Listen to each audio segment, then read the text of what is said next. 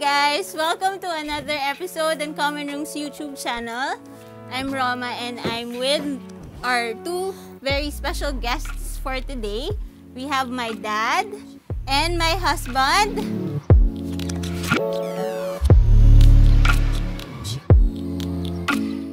Today is a very special episode because they're going to shop here in Common Room. Hopefully, uh, makatulong siya to give you ideas on what to give your dads on Father's Day on June 20. So, sasamahan ko sila mag-shop. Happy Father's Day sa mga tatay dyan.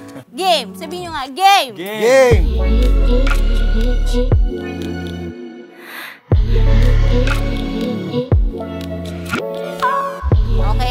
Para saan yan? Ito, sting.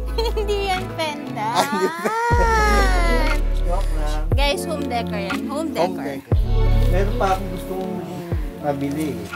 Hindi mo sa akin binibigay matagal na eh. Binubuking mo naman ako sa crowd eh. Madami yan. Pili ka lang. Pero pwede kong bilhan din ng mama mo.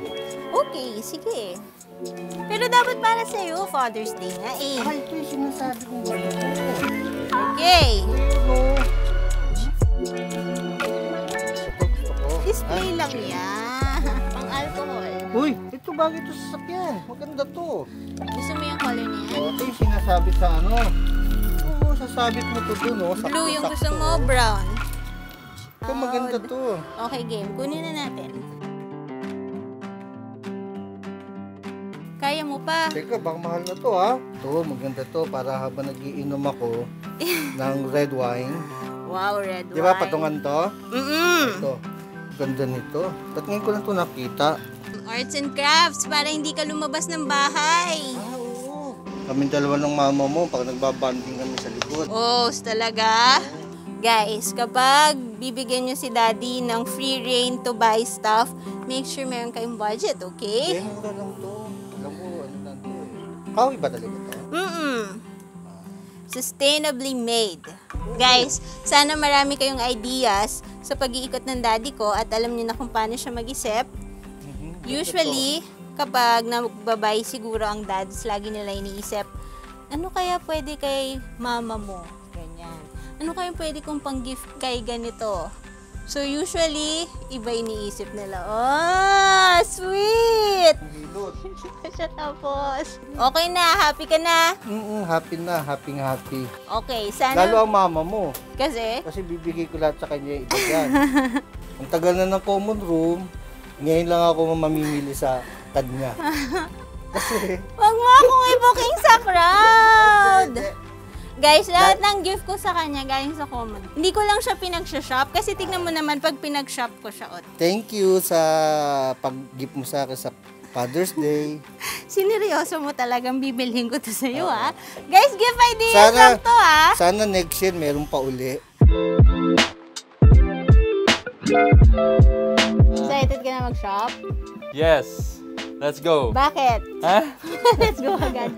Bakit ka Go na. excited? Kasi ngayon lang ako mag-shop sa store mismo. Oh, talaga? Laging online. Wow. Anong website natin? ComeroomPH.com Okay, at least alam niya si Maan hindi. Remember, nalala niyo yung episode na yun, hindi alam ni Maan. Coverroom.ph Mali! si Hobby naman, mag-shop siya kasi baka meron pa kayong makuhang other ideas para naman sa young dads.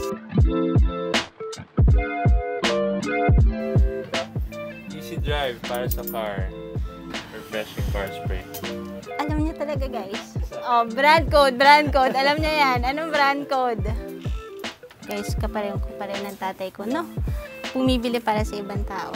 Oh, so sweet. Ito, sticker ni Free Spoke. Bakit ang dami Gusto naman? ko yan. Isang Strive pala- for greatness. Wow. Imagine nyo guys, si daddy hindi man lang tumingin sa sticker. So yung young, young dads, baka type na din nila yung sticker. So something to consider also.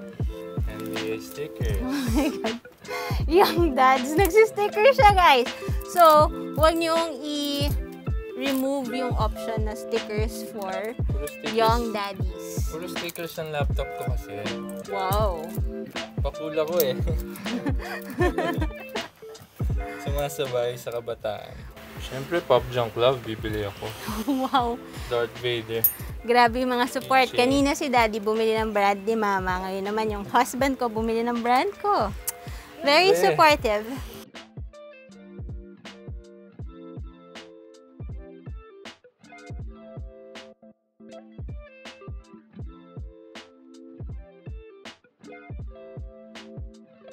El Jefe Pomade. Anong favorite mo dyan? Ito.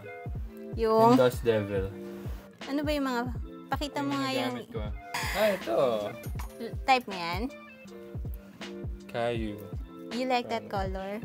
Ito mahal, dogs and cats. For Sophie.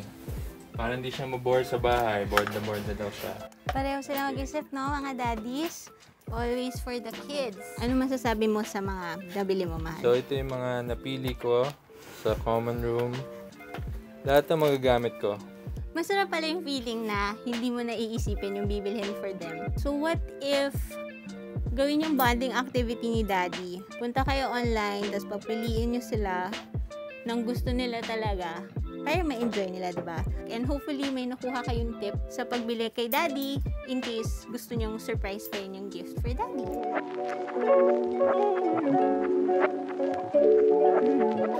Dad. Magbigay ka nga ng tip sa mga bibili for daddy. So, tingin mo, ano ba yung mga gusto ng daddies? Siyempre, yung mga kakaiba, ah, kailangan pagpunta mo, alam mo yung bibili mo agad para budget yung pera mo. Yun lang. Tsaka piliin mo kung ano yung gustong gusto mo talaga.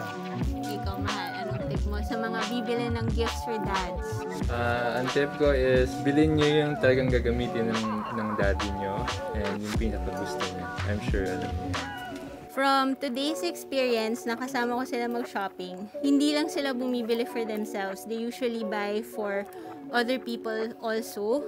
So, kunwari narinig mo si daddy na gustong-gustong bilhin ito for mommy, option din na bilhin niyo siya for daddy, yung gift niya for mommy. Or kunwari narinig niyo na gustong-gusto niya bilhan ito para sa kapatid mo, ganyan, option siya. So, it's not really just for dads or anong gusto ng mga guys, ganyan. Actually, they also buy for other people. So, yun yung tip. Hopefully, may nakuha kayo sa aming session at hingal na hingal na kami kasi nag-only shopping sila today. So, hopefully, may nakuha kayo and Happy Father's Day to all! Enjoy Happy shopping! Father's Day!